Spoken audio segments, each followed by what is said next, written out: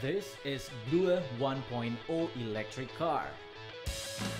Glueh means lesser mouse deer or kancil in Bahasa Indonesia. The name came from its small height and agility just like kancil. This car was created by 10 engineering students of Syiah Kuala University in Banda Aceh. The building process have started since August last year and finished in January this year. The car productions cost 150 million rupiah. The Glueh 1.0 electric car deemed as an adaptation towards world development.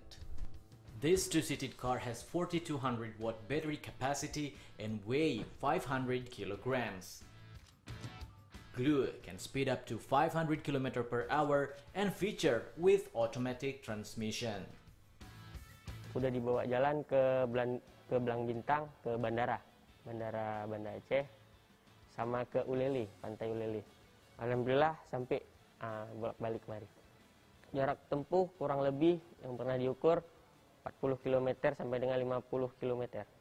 Sebenarnya tergantung pemakaian sih, karena kayak saya bilang tadi, kalau memang dipakai sekali pakai jalan jauh, uh, bisa habis dalam waktu kurang lebih sejam. Tapi kalau memang bisa kita pakai sedikit-sedikit, bisa tahan beberapa hari ya.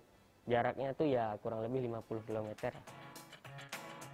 As of now, the Glueh 1.0 car have participated in competitions among universities in the country and overseas. The government targeted to produce electric cars and its battery in 2030 as much as 600 units of electric car and more than 2 million electric motorcycle to reduce CO2 emissions as much as 3.8 tons. SEA Today contributor reporting from Aceh.